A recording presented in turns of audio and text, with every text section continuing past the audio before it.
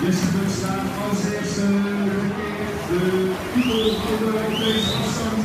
De toerzaak in Aken twee weken geleden. En hier gaat als eerste aan de 1 en blijft